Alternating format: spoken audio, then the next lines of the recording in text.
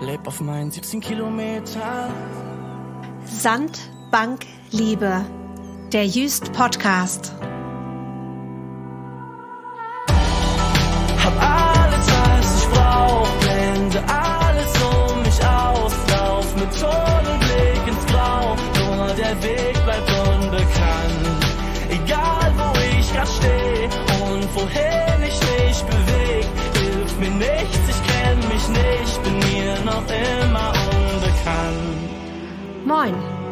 Mein Name ist Sandra Lübkes. Ich bin Schriftstellerin und wohne in Berlin.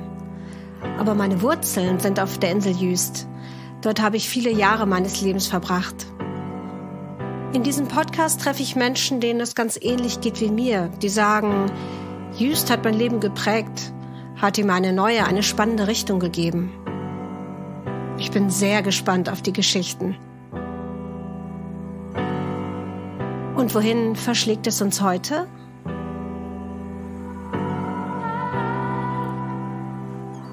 Heute bin ich 240 Kilometer südlich und circa 20 Kilometer westlich von Jüst, in Duisburg, und treffe Thorsten Henriks, der regelmäßig in der Zeit, die wir zwischen den Jahren nennen, mit einer kleinen Gruppe aus Töverland reist. Auch zum Feiern, klar, aber in erster Linie, um sich intensiv mit den Fragen des Lebens auseinanderzusetzen. Mit dem, was gewesen ist und dem, was vielleicht auf uns zukommen wird.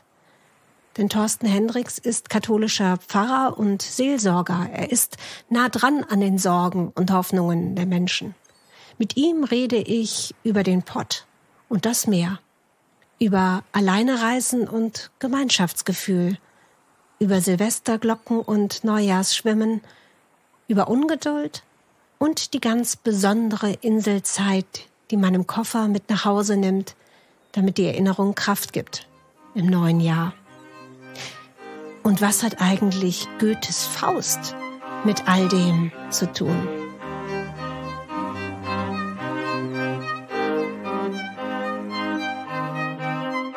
Vom Eise befreit sind Strom und Bäche, durch des Frühlings holden belebenden Blick, im Tale grünet Hoffnungsglück. Der alte Winter in seiner Schwäche zog sich in raue Berge zurück.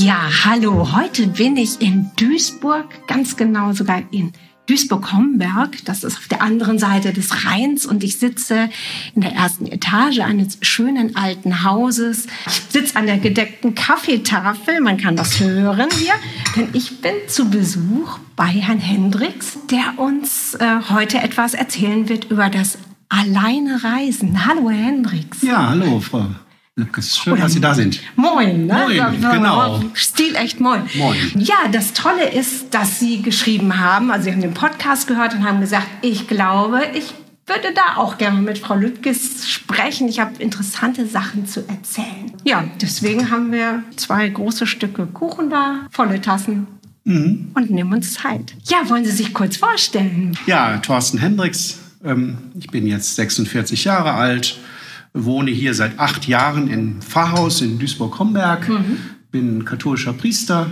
Ja, Jüst ist äh, mein Urlaubsort und mein Sehnsuchtsort und bin allerdings erst 2013, glaube ich, das erste Mal nach Jüst gefahren, im November, weil ich... Nicht gerade die Zeit, wo Nö. man, äh, wo, wo Jüst es ganz einfach hat, ein Herz zu erobern. Genau, also wirklich im November bei tristem Wetter und dunkel und neblig und Regen war da auch. Da bin ich zwei Tage hingefahren, weil ich über den Jahreswechsel mit einer Gruppe dahin fahren wollte und wenigstens vorher schon mal wissen wollte, wo, wo komme ich da hin. Und Also als Vorhut. genau, mal ein bisschen zu gucken, wo ist was, mich selbst auch ein bisschen zurechtzufinden da. Ich habe jetzt Kuchen im Mund, aber das wird jetzt bei diesem Podcast, bei dieser Folge öfter vorkommen.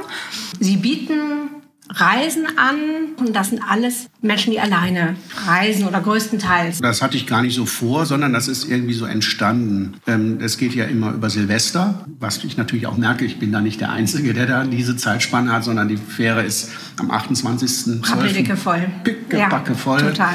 Mit Kind und Kegel und Vorschiff und Co., wie man das aus dem Sommer kennt. Mhm. Und am 2. Äh, ersten geht es dann so auch Retour Ne? Wenn die Schiffe fahren. Oft ist es Ja. ja so, dass komischerweise Neujahr immer Ostwind kommt und dann fahren die Schiffe nicht mehr. Das ist, ist Ihnen aber noch nicht passiert. Mhm. Das ist mir noch nicht passiert. Ist ja die Zeit, die man immer so zwischen den Jahren nennt.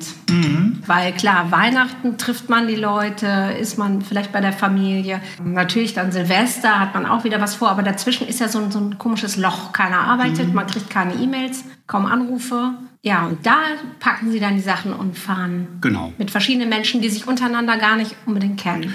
die dann sich da kennenlernen. Ähm, und die sind alleinreisend zum Teil, weil eben Weihnachten die Familie da ist und sie auch äh, Besuch bekommen oder auch irgendwo zu den Kindern fahren können. Aber Silvester ist es dann für manche nicht so. Früher, als ich jugendlich war, da hatte ich immer so eine Melancholie, so eine Silvestermelancholie, weil man natürlich immer diese Rückblicke alle hat. Wie war das Jahr? Was hat es mir gebracht? Gleichzeitig den, die Aussicht auf das neue Jahr, eventuell verknüpft mit irgendwelchen Vorsätzen, die man, wo man schon Angst hat, dass man die gar nicht einhalten kann. Und ich stelle mir das vor, dass es schwierig ist. Wenn man alleine lebt, geht es dann also quasi bei diesen Treffen auch immer um das Thema Jahreswechsel? Natürlich spielt das eine Rolle, ähm, aber ich stelle immer jedes Jahr ein anderes Thema.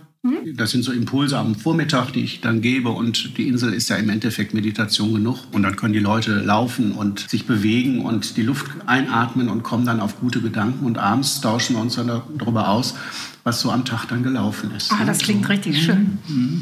Also ich habe mir als roten Faden ja jetzt für dieses äh, Gespräch heute ähm, viel überlegt. Es gibt ja, ne, man könnte was aus der Bibel nehmen, man könnte ein Gesangbuchlied nehmen, aber dann fiel mir ein, dass sie so gesagt haben, was mir auf Just gefällt, ist, ich kann so sein, wie ich bin. Hier bin ich Mensch, hier kann ich sein. Ich gebe ehrlich zu, ich wusste auch nicht, woher der stammt, obwohl ich Deutsch-Leistungskurs hatte. Ja, ich auch. Ich habe es auch nicht gelesen. Nee, äh, weil es stammt aus dem Faust.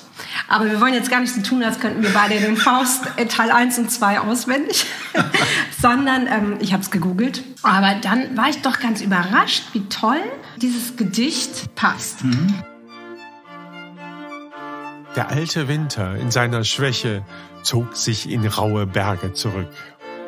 Von dort her sendet er, fliehend nur, ohnmächtige Schauer körnigen Eises in Streifen über die grünende Flur. Aber die Sonne duldet kein Weißes, überall regt sich Bildung und Streben, alles will sie mit Farben beleben. Doch an Blumen fehlt's im Revier. Sie nimmt geputzte Menschen dafür. Ja, an Blumen fehlt's im Revier. Sie nimmt geputzte Menschen dafür. Das Revier finde ich ja schon toll, denn wir sind ja hier, wir sind ja hier im Revier. Ja, man kann sagen, das ist ja hier Anfang des Ruhrgebietes, so der Übergang vom Niederrhein zum Ruhrgebiet. Und trotzdem ähm, sind wir davon geprägt. Hier gab es ja früher auch Bergbau, von daher Ja. gab es hier Zechen und Schachtanlagen, Bergbausiedlungen. Also die Leute sind jetzt nicht reich. Nein, hier gibt es viele, die Armut haben, kinderreiche Familien sind. Da wir haben so 27 Nationalitäten in der Pfarrei. Das ist nicht immer einfach. Wir haben ja diese weißen Riesen hier, die Hochhäuser. Zwei sind gesprengt. Wir warten auf die nächsten, die runterfallen sozusagen. Und ähm, was passiert denn mit dieser Fläche? Ja, überhaupt ist ja diese Gegend hier immer so in einem Wartemodus. Alleine schon, als sie mich jetzt vom Bahnhof abgeholt haben, Schienenersatzverkehr, weil Brücken umgebaut werden, Autobahnen. Ich glaube, nur eine Fahrrichtung zulässig. Ich weiß es nicht. Auf jeden Fall hat man hier das Gefühl, alles ist im Umbruch. Alles wartet auf bessere Zeiten. Ja, die wünschen sich einfach nochmal, ne, dass die Straßen besser werden, dass endlich die Brücke hier jetzt über den Rhein fertig wird. Dann nutzen welche hier so die Abkürzungen durch den Stadtteil und das ist auch nicht immer alles so prickelig. Von daher, ähm, sie kennen das, äh, aber jetzt ist es nochmal eine, eine Nummer dicker auch. Und wir sind nochmal in einer anderen Zeit angekommen. Ne? Wenn ich so an die Krisenzeiten denke, wirtschaftlich, ähm, aber auch politisch, kirchlich, klar. Das ist auch oft Thema, dass wir das dann auch da auf Just dann so besprechen, so beim, beim Essen, wie geht's uns damit? Ne? Oder was erhoffen wir uns auch fürs neue Jahr? Welche Besserung, was, was kommt da auf uns zu? Ist, wie ist es denn jetzt, wenn die, die Menschen hier ähm, leben in einem, in einem Ort, der sich verändert, wo sie aber sehr viel Geduld aufbringen müssen, bis das endlich mal so wird, wie ihnen versprochen wurde. Und dann kommen die nach Jüst, wo scheinbar immer alles gleich bleibt auf schöne Art und Weise, wo man geerdet wird. Fällt ihnen das dann mehr auf und Sie kommen am Ende schlechter damit zurecht, wieder zurückzufahren? Oder können Sie sich auch versöhnen mit der Situation zu Hause? Ja, sie erleben eine Inselzeit. Ich Ja. nenne das ja auch Inselzeit Oh, zwischen den Jahren. Ähm, und das ist für viele wirklich eine Inselzeit, nur Pferdefuhrwerke. Mhm. Ja, also keine Lastwagen und der Druck ist weg. Da fünf Tage zu haben, wo ich sage, hier kann ich wirklich so sein, wie ich bin und, Mhm. und äh, auftanken und das neue Jahr starten, in der Hoffnung, sich guten Puffer angelegt zu haben, äh, um das dann auch im Alltag hier weiterzuleben. Also man kann sich so ein Stück von der Insel dann immer mitnehmen. Ja, ich sage immer, äh, ihr findet immer noch ein bisschen Sand im Koffer Ja, nachher. das stimmt. Und äh, ich sage, hebt den mal gut auf. Ja, es könnte auch ein Ärgernis sein. Man könnte auch sagen, oh, ich habe die ganze Zeit immer diesen Sand, der geht gar nicht mehr weg. Aber man kann eben auch Mhm. sagen, ach, guck mal, da ist noch ein bisschen Insel Ja. in meiner Hosentasche. Ja, ich nehme das unbewusst mit und mir fällt das zu Hause erst auf. Manche sagen dann schon bei der Rückfahrt wieder, nächstes Jahr bin ich dabei. Ja, wie schön. Ne, sodass ich jetzt zwei Jahre gar keine Werbung mehr machen brauchte, weil die Plätze schon belegt waren. Alle. Toll. Die treffen sich. Ne? Ach so, auch übers Jahr dann. Übers Jahr, dann haben welche, weil man natürlich auch auf Houston haben wir abends schon mal so Spielerunden gemacht. Und dann gibt es eine Gruppe, die äh, trifft sich auch zu Hause weiter, einmal im Monat. Und was spielen Sie dann? So, so Doppelkopf oder? Nee, nee, so ähm, dieses Phase 10. Ach so, ne, so. Solche Sachen. Okay, äh, wo man sich ne? auch gegenseitig ein bisschen ärgern kann. Ja, ne? ja. Äh, ne, wenn man nicht in der richtigen Also nicht nur Phase ist. Harmonie, sondern Genau. auch knallhart. Oh, du musst einmal aussetzen, Ja. zehn Karten ziehen und Genau. Oder diese WhatsApp-Gruppe, die man dann, Mhm. ne, und dann wird noch, noch mal ein Bild geschickt. Da wird sozusagen das, was wir so auf Just erlebt haben, noch mal im Alltag rübergerettet. So. Und wo wohnen Sie dann immer auf Jüst? Wir sind im Paxhaus. Also es werden viele kennen, weil das eines der größten Gebäude ist, ganz in der Nähe der katholischen Kirche. Aber es ist ja kein richtiges Hotel. Was genau ist das eigentlich? Ja, das ist eine von einer Pax-Vereinigung, das ist so eine Klerikervereinigung, ähm, geführtes Haus. Da sind indische Ordensschwestern jetzt auch Ach, äh, echt? drin, ja. Indische? Mhm, Indische, vier äh, Ordensschwestern. Und die haben eben viele Doppelzimmer, Einzelzimmer, ähm, eben großen Speisesaal. Und da ist eben Vollpension. Ne? Frühstück, Mittagessen, Abendessen. Dann gibt es einen Lesesaal und Fernsehraum. Ne? Also man hat jetzt kein Fernsehen im Hauptzimmer, sondern da geht es um Gemeinschaft. Das finde ich immer ganz ja, interessant im Paxhaus. Es gibt zwei Fernsehräume. Früher hatte man ja auch nicht so viele Programme, Fernsehprogramme. Es gibt den ARD-Raum und den ZDF-Raum. Und dann will man lieber Krimi gucken oder Florian Silbereisen? Oder, Ja. oder sind die Leute auch schon moderner? Ne? Ja, die gucken ja. nicht alle Schlagersendungen. Nee, aber ne, da gibt es die Tagesschau und da gibt es die Heute-Nachrichten. Keine Ahnung. Ne? Ja, Also, äh, das war früher schon ein Unterschied. Früher haben wir immer gesagt, die, die Katholiken gucken ZDF und die Tagesschau gucken die Evangelischen. Und wahrscheinlich stimmt das überhaupt nicht. Aber kann man sich da auch ganz normal anmelden? Also einfach sagen, so, ich, ich, ich komme mit meiner Familie und wir würden gerne in Paxheim wohnen oder muss man da irgendwie... Gut, es gibt keine Ferienwohnungen, ne? das sind alles Zimmer, Zweibett oder eben Einzelzimmer. Und da fahren auch, ich sag mal, Ehepaare hin. Und interessant ist auch, dass wir da immer wieder auch Leute treffen, die auch jedes Jahr kommen. Sodass das im Haus auch nochmal so eine Gemeinschaft ist, die sich einmal im Jahr wieder trifft. Die äh, kriegen dann schon mal was von unseren Themen mit. Und äh, dann gibt es ja immer den gemeinsamen Silvesterabend mit erst einem Sektempfang. Ja, also richtig Ne, schon. also ne? sehr Nicht schön. so, wie man sich das vorstellt, nicht wie im Kloster. Jeder kriegt einen Nein. Schluck Leitungswasser und Nein, nein, Knäckebrot. nein. Und es kommt immer ein Winzer und der bringt dann äh, Wein und Sekt mit.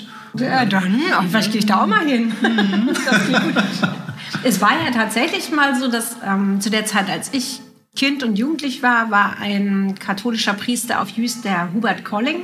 Der kam auch aus dem Weinanbaugebiet. Und der war ja schwer entschlossen, Jüst zum nördlichsten deutschen Weinanbaugebiet werden zu lassen und hat hinter der katholischen Kirche einen Weinberg angelegt. So eine totale Insider-Geschichte, da kann Ja. sich fast niemand dran erinnern.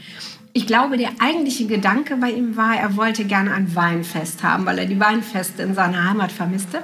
Also hat er diesen Wein angebaut, das Jüster Schutzengeltröpfchen, und dann gab es einmal im Jahr ein Weinfest. Mein Vater hatte dann, der er war ein Pastor, evangelischer Pastor, also Amtsbruder, der bekam mal eine Flasche von diesem Schutzengeltröpfchen geschenkt Okay. für besondere Anlässe.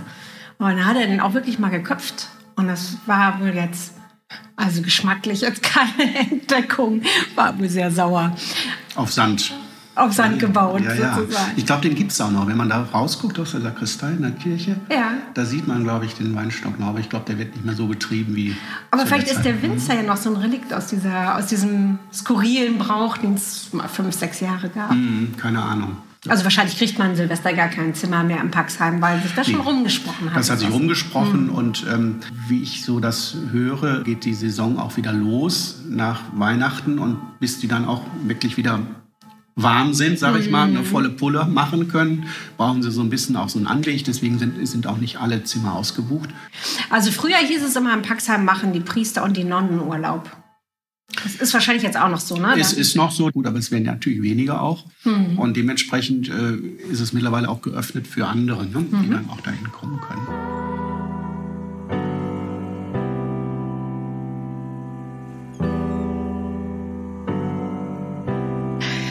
Ja, und dann wird zurückgezählt. 10, 9, 8, 7, 6, 5, 4, 3, 2, 1. Frohes neues Jahr. Meistens trinkt- auf der Hohen Düne. Ach so, dann geht's Ja, darum. wir Warum? Mhm. gehen da zum Wasserturm da hoch. Das ist ja die höchste Erhebung. Man kann so aufs Festland gucken und das sieht immer so, so, so klein aus, die ganzen Raketen und Böller und, und so und die, das Feuerwerk. Ja, und dann liegt ja auch die, die Insel so in ihrer ganzen Breite unter einem. Ne? Mhm. Ja. Man, man sieht ja relativ weit gen Osten und gen Westen. Also Nordteich sieht man gut.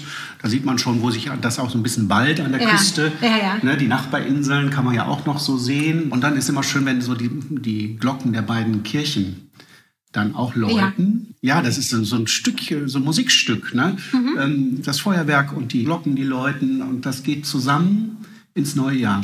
Ja, das war tatsächlich eine meiner Kindheitserinnerungen. Wir haben dann ja, als ich noch kleiner war, mit meinen Eltern auch Silvester gefeiert. Und dann war es aber so, die Glocken haben ja so einen Automatismus. Die starten ja eigentlich von allein, aber Mhm. eben nicht um Mitternacht. Außer wenn jetzt Silvester ist und da muss man es manuell einschalten. Das Ja. heißt, dann sind wir immer mit meinem Vater zum Kirchturm oder zur Kirche rübergelaufen und durften dann die Silvester-Neujahrsglocken aktivieren. Und das war ein ganz tolles Gefühl.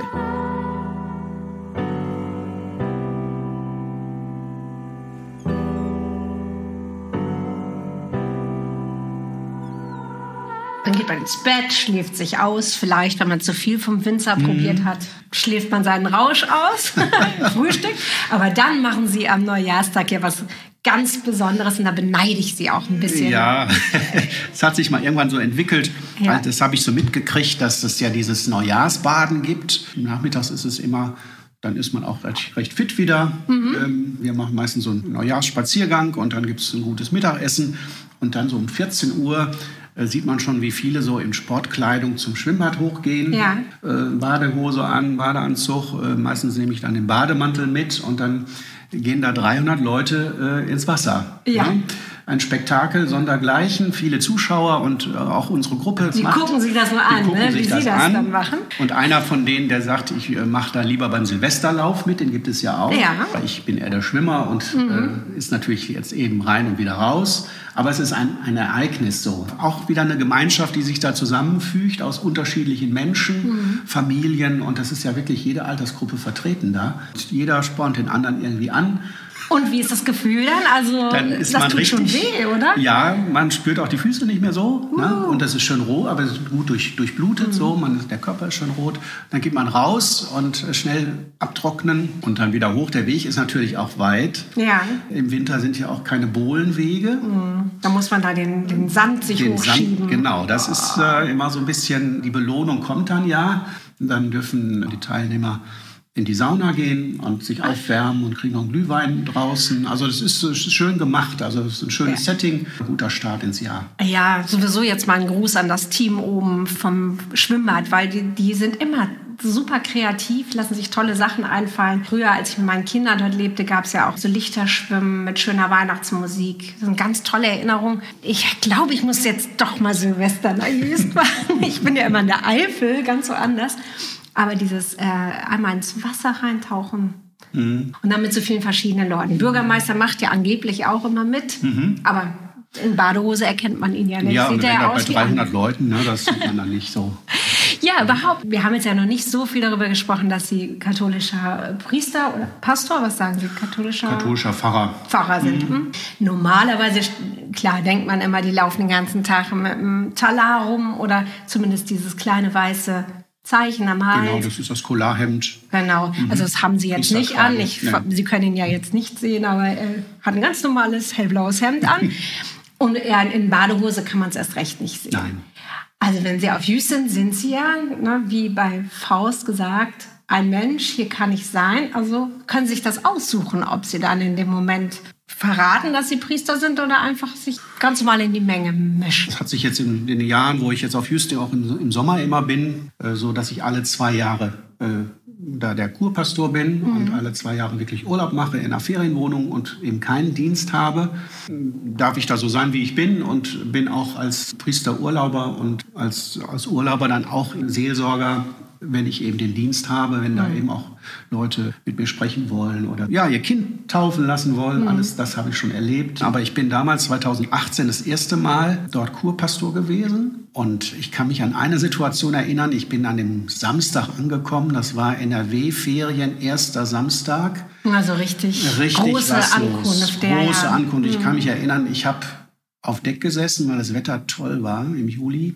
und habe anderthalb Stunden das Meer oder das Wattenmeer nicht gesehen. Ich saß da auf meinem Platz und überall ringsum Leute. Ja.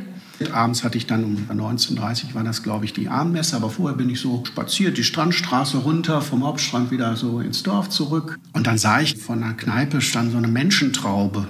Da habe ich erst gedacht, was Fußballmäßiges. Ah, ja, 2018 war, glaube ich, irgendwas ja, in Frankreich war das. Mhm. Genau, auf jeden Fall war es so ein Fußballturnier. Mhm. Und da standen die Leute draußen. habe ich gedacht, ach, ist Halbzeit, Raucherpause oder was auch mhm. immer. Am nächsten Tag, der Sonntag, wieder draußen. Ganz Aha. viele Leute. Und dann habe ich mal gefragt, was ist denn hier? Und er sagt, ja, hier ist Happy Hour. Immer von 16.59 bis 18 Uhr. Dann bin mhm. ich am nächsten Tag dann auch da hingegangen, habe mich dann dazu gestellt und kam sofort ins Gespräch. Das habe ich so auf anderen Inseln nicht erlebt. Das hat mir richtig gut getan. Da darf ich Mensch sein, so wie ich bin.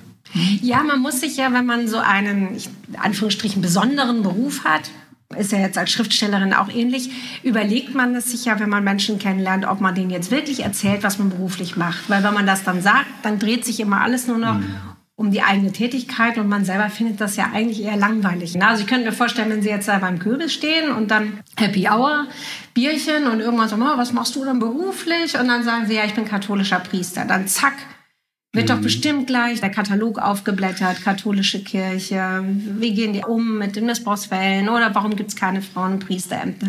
Da hat man ja bei der Happy Hour nicht so Lust drauf, das zu erzählen. Also ich mache die Erfahrung nicht. Ähm, ich habe das, äh, fand das spannend, ähm, als ich dann mich da unter die Leute gemischt habe, dass so eher nach den Herkunftsorten gefragt wurde. Ähm, dann habe ich gesagt, ich komme aus Duisburg. Da rümpften so ein paar die Nase, so Ach, Duisburg. Ne? Wieso gibt es da Städte-Rivalität? Ja, weiß ich nicht, Duisburg. Und dann sagte einer, der Kurpastor, der kommt auch aus Duisburg, weil das immer ja angeschlagen wird in den Schaukasten, der okay. da gerade äh, Kurpastor ist. Und dann habe ich mich dann auch schnell geoutet, dass ich das dann bin.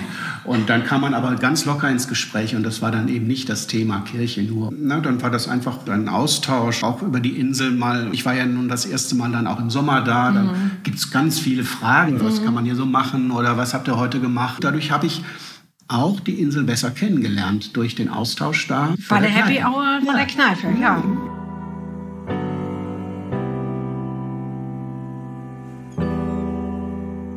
Ja, und dann ist man eben, ne, man ist Mensch, man trinkt ein Bierchen gemeinsam, aber dann kommt ja trotzdem der Sonntag oder die Abendandacht am Samstag Mhm. Oder eben vielleicht sogar ein seelsorgerisches Gespräch, dann da sind sie ja auch ansprechbar genau. für Menschen, die dort Urlaub machen und dann auf einmal merken, ich brauche jetzt auch hier im Urlaub in dieser schönen Umgebung jemanden, der was für meine Seele tut. Mhm. Wie funktioniert das dann? Wie macht man dann einen Termin aus? Gibt es Sprechzeiten? Oder? Meistens sprechen mich die Leute nach dem Gottesdienst an ja. oder klingeln auch. Na, das Pfarrhaus ist ja genau gegenüber. Ja. Das meiste findet eben vor der Kirchentür statt weil mhm. ich ja draußen auch stehe und mit den Leuten spreche und die verabschiede vielleicht nach dem Gottesdienst und dann kommen schon mal welche da und sagen, äh, ich hätte gern wohl noch mal ein Gespräch mit Ihnen. Sind das wohl Leute, die auch zu Hause den Seelsorger aufsuchen würden oder gibt es da eine größere Offenheit, wenn man auf Jüst ist? Also das ist in Urlaubsorten ist die Schwelle niedriger. Ähm, die Schwester Michaela, die ja nun auch äh, lange Jahre Seelsorgerin war, die mhm. hat ja mhm. immer gesagt, äh, jetzt bist du Jüst, Kirche vor Ort und Lebendigkeit und Gottesdienst und alle dürfen mitmachen. Es geht für viele darum, einfach da reinzugehen, eine Kerze anzuzünden, vielleicht die Stille mal zu genießen, im Sommer vielleicht auch die Kühle der Kirche. Mhm, stimmt. Ähm, und wenn die Sonne scheint, die schönen Fenster, zu merken, da kommen noch andere. Also ich bin nicht alleine da, sondern da kommen andere rein und machen das Gleiche wie ich. Oder da gibt es ja jetzt seit ein paar Jahren auch so eine Klagemauer. Da sind so Ziegelsteine ja. aufgebaut und dann sind da so Zettelchen. Da kann man so seine Bitten raufschreiben auf den Zettel und dann da reinstecken in die Klagemauer.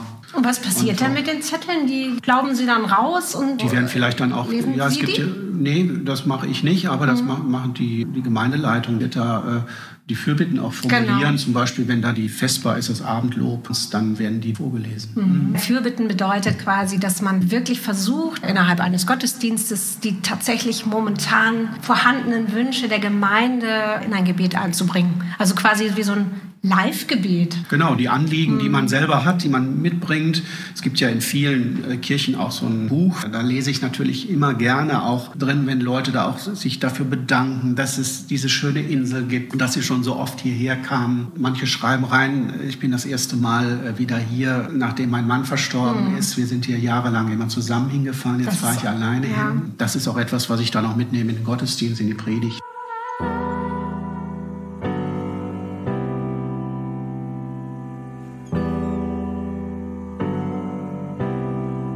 Jüst läuft es ja tatsächlich auch ein bisschen anders in der katholischen Gemeinde. War ja zum Beispiel die Schwester Michaela war ja im Prinzip gefühlt sowas wie ein Gemeindepriester auch ist. Also mhm. sie hat ich weiß nicht, hat sie die Beichte, da hat sie nicht. Gibt es nee. überhaupt noch eine Beichte? Ich bin ja nun so evangelisch, dass ich. Ja, das die gibt weiß. es noch. Vereinzelt habe ich auch schon Beichtgespräche gehabt auf, auf Jüst. Gibt es auch so einen Beichtstuhl noch an der? Nein. Das, also dieses, was man immer im Fernsehen sieht, mit diesem Gitter dazwischen. Genau, das, das gibt es da nicht. Okay. Ähm, ich habe mich dann immer in die Seitenkapelle gesetzt, da, okay. Ähm, wo der Tabernakel steht, wo das Heilige Brot aufbewahrt wird. Da ist hm. eine schöne Nische, da sitzt man auch geschützt. Ähm, aber auch trotzdem öffentlich. Hm. Die Schwester, also die hatte im Prinzip schon solche Aufgaben übernommen, aber sie war natürlich trotzdem äh, kein Priester. Genau, sie hat also nicht die Eucharistie gefeiert. Mhm. So. Gottesdienst, Schweigemeditation ist da ihr Anliegen auch. Ne? Da kommen ja viele eben morgens und abends gehen ganz bewusst in die Stille. Deswegen heißt ihr Projekt ja auch Stille auf Jüst. Ja, denn auf Jüst ist es ja nicht still in Wirklichkeit. Man denkt immer, das ist mhm. leise, aber man, wenn man da steht, äh, hört man eine ganze Menge. Den Wind, die Pferde, ja, die klar. Möwen. Wenn ich zum Beispiel zur Bill fahre, hinten durch, ja. meistens fahre ich da sogar hin, wenn Ruhetag ist bei der Domäne mhm, Bill, weil da gar nichts ist. Und dann äh, bin ich wirklich ganz für mich und da da bin ich in der Stille. Naja, das die Menschen, die jetzt am Ruhetag dahin fahren, weil sie eigentlich einen Rosinenstuten essen wollen, die ärgern sich dann doch bestimmt lautstark, oder? Aber da gibt es doch auf der Hälfte der Strecke gibt's doch so ein Schild. Mittwochs ja, Ruhetag. Wenn man liest und nicht nur auf sein Handy guckt, dann ja, ja, ist man auf der Gewinnerseite.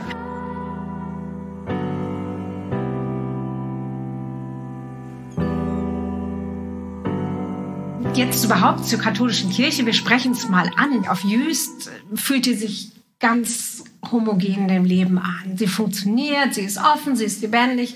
Dann gibt es natürlich oft den Vorwurf, die katholische Kirche bewegt sich nicht so richtig vom Fleck. Sie geht mit schwierigen Themen sehr unglücklich um. Das ist doch auch schade, wie ich Sie jetzt erlebe. Sie sind ja ganz nah am Menschen.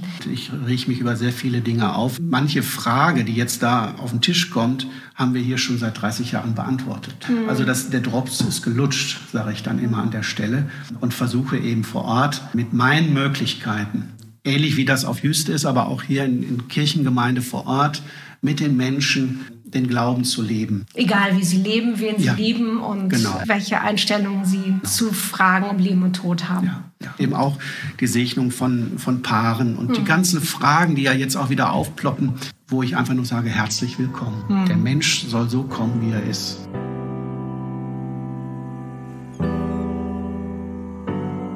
An allen Ecken und Enden begegnet man ja der Schöpfung, mhm. wenn man sie so nennen möchte. Also man muss ja gar nicht mal so eng an der Kirche sein, um sich da beglückt und beschenkt zu fühlen. Man sieht es natürlich den Menschen nicht an, mhm. ne, ob sie jüdisch sind oder Muslime oder was weiß ich. Aber ich glaube, da kann man sich sowieso immer treffen. Also am Strand oder ja. oder ich weiß nicht, wo, wo sind denn so die Lieblingsorte? Wo treiben Sie sich denn dann rum, außer jetzt am Kürbis in der Happy Hour? Ich finde den Strand natürlich immer schön. Ja. Ähm, oder ich gehe zum Seezeichen. Ja. Ich mag den Otto-Legepfad ja. sehr. Mhm. Wenn ich so an der Windhafe stehe und die auch dann justiere, dann ordne ich mich auch ein in die Natur und in die Gezeiten.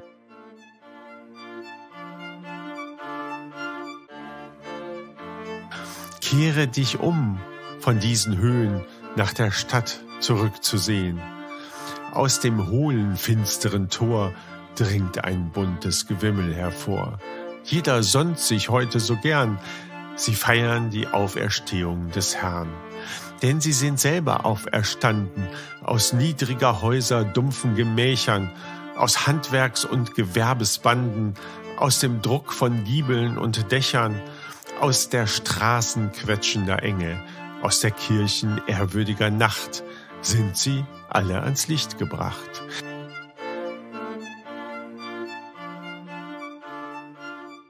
Also wenn man ganz neu alleine reist und das vorher noch nie gemacht hat, gibt es verschiedene Unsicherheitssituationen. Zum Beispiel ganz stark essen gehen. Wenn mhm. man alleine an einem Tisch sitzt, das heißt ja, man würde dann immer den Katzentisch direkt bei den Toiletteneingängen kriegen oder eben, äh, dass die Gastronomen vielleicht auch gar nicht so gerne jemanden alleine nehmen, weil sie könnten ja auch dann in der Zeit zwei Leute an diesem Tisch platzieren. Und ähm, ja, sie sind ja nun zu großen Teilen alleinreisend. Ähm, was gibt es da für Tipps und Kniffe, dass man sich da wohlfühlt beim Essen gehen? Ich habe es schon mal so gemacht, man hat ja einen Blick auch dafür, wenn da so einer so alleine sitzt. Manchmal ist das ja am Schiffchenteich ganz schön, mhm. weil da sitzt man und dann kann man jetzt sicher schon mal eine Bank teilen mhm. auch und dann kommt man ins Gespräch. Ich habe mal eine Situation gehabt, dass einer dann sagte, ja, ich bin auch alleinreisend und dann haben wir uns zusammengetan und sind abends essen gegangen. Ach, wie schön. Ja, das funktioniert nicht immer, muss es auch nicht. Meistens ähm, esse ich auch abends nicht im Restaurant, sondern eher mittags irgendwo, mhm. auch was auf der Hand und abends vielleicht ein Brötchen zu Hause. Just ist ja auch so ein Ort, da fährt man jedes Jahr auch wieder hin. Das heißt, man trifft auch wieder dieselben Leute. Also man muss sich nicht einsam fühlen. Nein. Manche freuen sich auch einfach mal alleine zu sein ja. ähm, ne, und den Tag auch so zu gestalten, dass es für einen gut passt. Ja, es ist ja auch äh, kann auch wirklich ein Geschenk sein, mhm. weil man eben na, morgens aufsteht, wann man möchte und sich auch entscheidet, gehe ich jetzt essen oder mache ich mir in meiner Ferienwohnung eine Dose Ravioli auf ja. oder was auch immer. Hat was oder jetzt ist der Regen da, gleich ist die Sonne wieder da. Ach, ich setze mich noch mal eben aufs Fahrrad.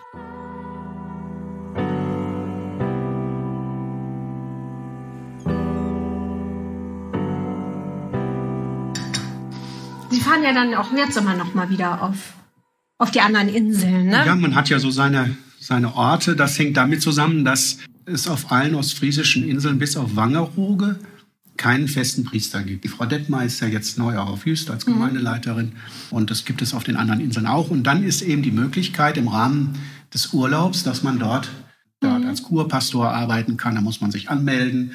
Da gibt es auch eine Regelung, dass man da eine Unbedenklichkeitserklärung äh, einfordert, auch vom Heimatbistum und das auch nochmal abcheckt. Wie wird das gemacht, eine Unbedenklichkeitserklärung? Da ist die Personalabteilung, äh, die okay. äh, hat das scheinbar im Blick. Und gibt es auch noch eine Altersgrenze? Ich glaube, bei den Evangelischen darf man nicht mehr älter als 70 sein das oder so? Das glaube ich nicht, denn dann äh, würden nicht mehr viele dahin fahren. So, ich senke da sehr Aber den Sie Schnitt. haben ja noch ein bisschen Zeit. Ich senke da nämlich sehr den Schnitt. ja, und ich habe drei Inseln für mich jetzt so im Laufe der Zeit entdeckt. Über Karneval, wenn eher wenig in der Pfarrei los ist, mhm.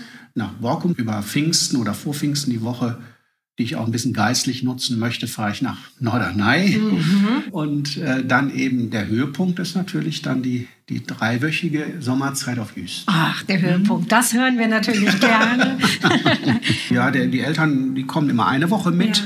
Ja. Ähm, dann haben wir so eine gemeinsame Woche im Jahr auch und da waren wir jetzt in, diesem Jahr, habe ich gedacht, ach, da ist montags morgens Gästebegrüßung. Ja, von Herrn Vodde, genau. Genau. Ja. Und ähm, man kennt sich aus mittlerweile. Aber trotzdem ist noch mal ganz schön, noch mal so einen Überblick zu bekommen. Ja, ich habe sogar auch schon mal überlegt, ob ich mich da mal reinschmuggel, weil mich das auch interessieren würde. Ja. Was die Leute so für Fragen stellen da Die stellen Beispiel. Fragen und Ja. ich fand das jetzt ganz spannend, weil das war nicht so bei mir auf dem Schirm mit, ja, mit der Nachhaltigkeit. Gut, ich fahre mit dem Auto nach Norddeich. Ja, geht doch mit der Bahn. Geht auch ne? mit der Bahn, ich weiß das. Aber trotzdem fand ich das für mich nochmal so als Impuls ganz gut, dass das auch nochmal zum Thema Nachhaltigkeit, Ja. Klimawandel und so weiter. Also ich bin zum Beispiel auch verpflichtet, vertraglich, dass dieser Podcast klimaneutral ist. Also dass Mhm. ich wirklich mit der Bahnreise, ne, geht eigentlich auch fast immer, sogar in der Eifel war ich schon. Ja, Herr Vodde ist da sehr visionär, muss man wirklich sagen. Mhm. Der hat ja schon von Klimaneutralität gesprochen. Da haben die anderen alle gedacht, was ist das eigentlich? ja, und da sind dann ja auch so die Gästefragen. Ja, und was, was fragen die so? Ja, das war ich auch, fand ich auch Ja. ganz spannend. Da fragte jemand, ob es nicht einen Unverpacktladen hier geben könnte Okay. auf der Insel. Da habe ich nur gedacht, die müssen ja auch irgendwie die Sachen rüber Ja. transportieren. Die können sie ja nicht einfach in der Kiste packen. Äh, schön wäre das, so ein Kette Ort. und so, das muss man ja auch Mann. bedenken. Ne? Das Oder ist schon ein schwierig in Markt- einer Großstadt, ein Ja. Unverpacktladen. Ne? Also Das kann man auf Jüst, glaube ich, wirklich knicken. Das ist Vogelinsel Memmert war noch so ein Thema. Ach, ob man da hinfahren kann. ne? Hinfahren kann. Da habe ich auch noch eine schöne Geschichte auf Lager. Und zwar irgendwann in den, was muss die 70er Jahre, Ende der 70er gewesen sein. Da sind mein Vater und sein katholischer Kollege nach Memmert gefahren. Quasi wie so eine Missionarsreise um diesen Inselvogt, der totaler Atheist war. Hm, Äh, Um den, natürlich wollten sie nicht wirklich missionieren. Sie waren wahrscheinlich auch nur neugierig. Mal Und hatten vielleicht. Interesse an ihm auch. Ne? Der war ja wirklich auch ganz bewusst, hat er alleine gelebt auf dieser Insel. Auch so ein Alleinlebender. Auch ein Alleinlebender, aber richtig allein allein. Obwohl Mhm. Ja, ja. dann hatte er hinterher auch eine, eine Lebenspartnerin, die mit ihm da gemeinsam gewohnt hat. Aber ich war zum Beispiel auch noch nie auf dem Memmert. Würde ich total gerne mal machen.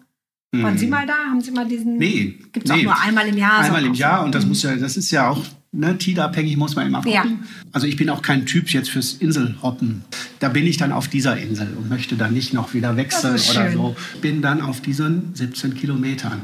Der Ort, wo ich nichts leisten muss. Und Sehr vielleicht schön. einfach mal ein Buch lese. Oder da freue ich mich manchmal auch über so einen Regentag, weil Sonnentag äh, setzt einen ja manchmal auch so ein bisschen unter Druck. Hm. Und dann ist Regenwetter und dann freue ich mich, aha, da ist noch so ein Buch, zum Beispiel Schule am Meer, habe ich da auch mal gelesen. Kleiner Werbeblock.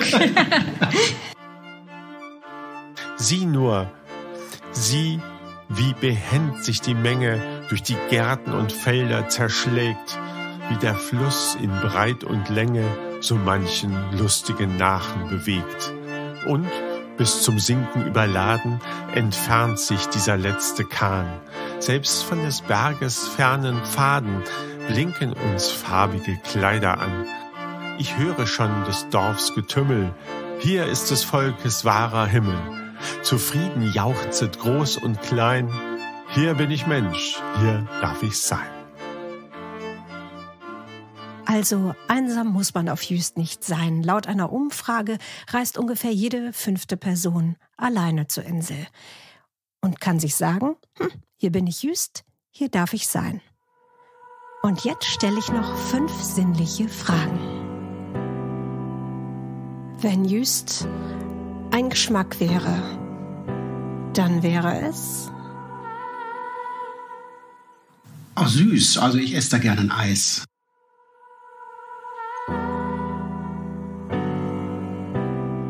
Wenn Jüst ein Geruch wäre, wonach würde es riechen? Nach Salz.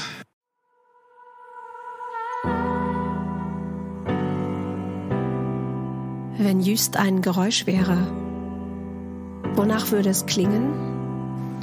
Dann wäre das die Stille. Kann auch ein Geräusch sein. Die Stille kann ein Geräusch sein. Obwohl sie ja auf Jüst es nie so richtig still ist, aber die Ja, Stille hinter den Geräuschen. Ja, ich suche mir aber manchmal die Stille. Und sie find, ich finde sie auch. Schön.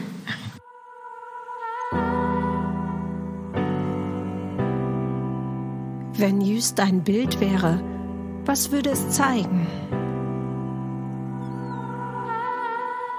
Ja, den Sandstrand und den Horizont, das Blau des Himmels. Ähm, ja, also die Weite. Die da geht es mir um die Weite. Also es wäre quasi so ein Triptychon oder so ein ganzes Ja. Panorama. Ja. Vielleicht sogar ein Rundumblick Ui. mit Watt und Meer. Wenn Jüst ein Gefühl wäre, Was würdest du spüren? Der Sang, den ich manchmal noch im Koffer finde, wenn ich wieder zurückkomme. Wenn sie das Stückchen Jüst mit nach Hause bringen.